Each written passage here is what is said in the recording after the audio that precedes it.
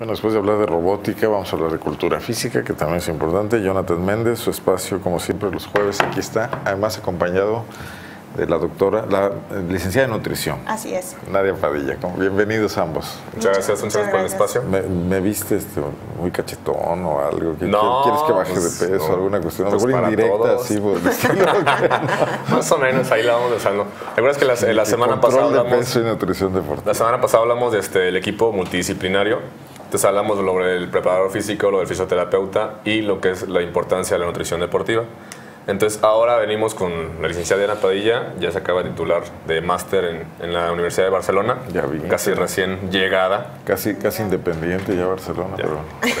sí, algo así. Este, y en esta ocasión trae algunos métodos de control de peso y de nutrición deportiva que estamos... Eh, llevando a cabo dentro de la zona de entrenamiento de Functional Health. Le cedemos entonces el micrófono a la Bueno, muchas gracias. Este, primero que nada, pues bueno, sí venimos recargado pilas, eh, viniendo de, España.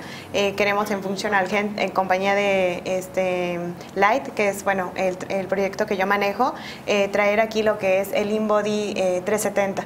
Es un aparato que bueno nos, nos determina a nosotros por medio de una bioimpedancia a determinar la composición corporal de, de las personas. de la masa muscular Así es, de una forma precisa lo podemos determinar cómo funciona, porque de repente hay como muchas dudas. Lo que pasa es de la corriente eléctrica, eh, nosotros tenemos electrodos, en este caso el InBody lo que hace es eh, por medio de manos y pies tenemos electrodos, va la corriente eléctrica.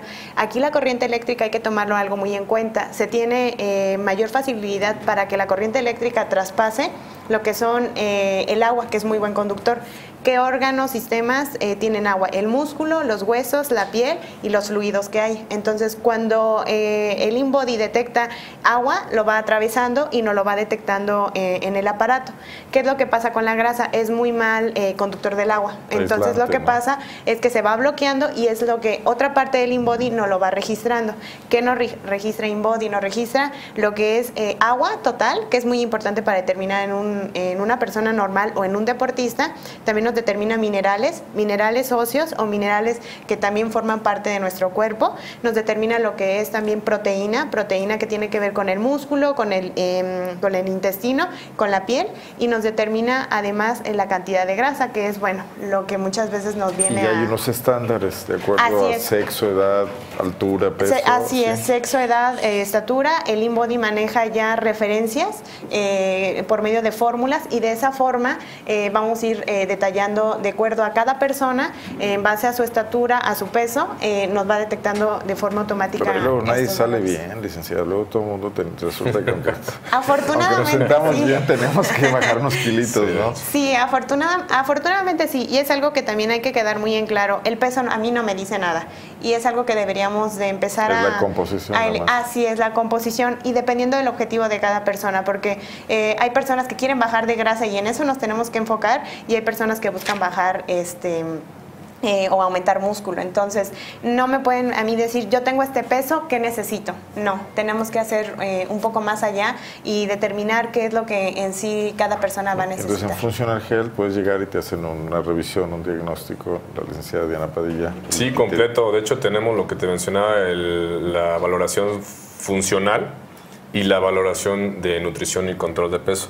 Esto quiere decir que cualquier persona lo puede realizar, obviamente tiene que tener un objetivo claro. Eres deportista de alto rendimiento, solamente quieres cuidar tu salud, quieres tener una, mejor calidad de vida y por ende te, proporcionamos este, este programa directamente para ti, conjuntamente con lo que maneja este, eh, Diana ahí directamente en Functional ¿Un diagnóstico no tiene costo o sí o El diagnóstico que maneja este Diana tiene dos tipos de costos. Sí, estamos manejando lo que es eh, dos tipos de programas que está enfocado a control de, control de peso y un segundo que es para nutrición deportiva. ¿Por qué esta desviación o esta diferencia? Eh, en los dos tenemos dos tipos de, base, es decir, hacemos una historia clínica, aparte de la historia clínica hacemos lo que es el análisis de la composición corporal por medio del InBody y después eh, nos ponemos a hacer un plan de alimentación personalizado.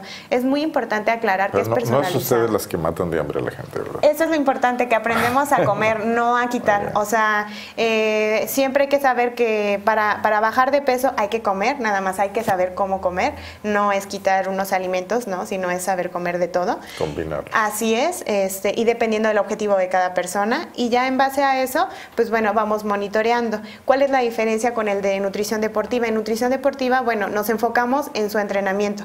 ¿Qué tipo de ejercicio, la duración, la frecuencia, los ejercicios que realiza, el periodo de descanso?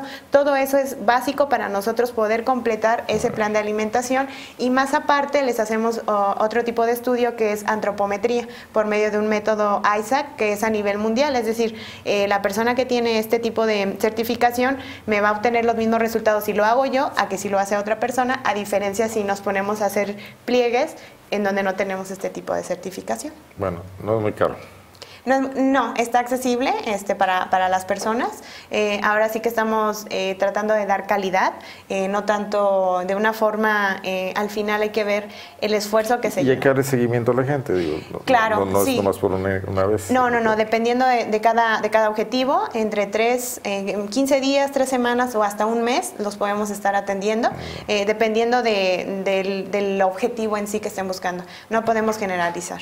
Otro servicio de Functional Health. Y ya después ahí, pues. Muy te- especializado. Te, te quedas, en- si quieres hacer De hecho, el una entrenamiento... rutina física, pues ya pasan contigo. De hecho, platicamos sí con no Diana, cobras? con cada persona. no, de hecho, con cada persona este, platicamos con Diana qué tipo de entrenamiento lleva, qué intensidad lleva, si entrena pesado, si, entrena, si es entrenamiento de cross-training, es corredor, dependiendo, y así lo vamos este, canalizando directamente para ofrecer un mejor servicio y un mejor este, pues objetivo. creo que se está convirtiendo Functional Health en uno de los gimnasios más completos de la ciudad en este tipo de servicios, ¿no? Pues queremos dar este, la pauta y falta nada queremos más la alberca.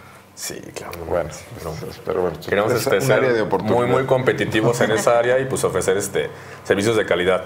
Eh, puede haber mucha cantidad de gente que puede ofrecer diferentes tipos de servicios ejercicios, eh, a beneficios que tenemos nosotros, pero siempre tenemos que tener la, la calidad de la persona que enfoca, este, el profesional que va dirigido a ese, ese tipo de áreas para ofrecer un mejor servicio. Muy bien, pues mucho éxito, qué bueno que ya está aquí. Muchas con, gracias. Con estos conocimientos nuevos.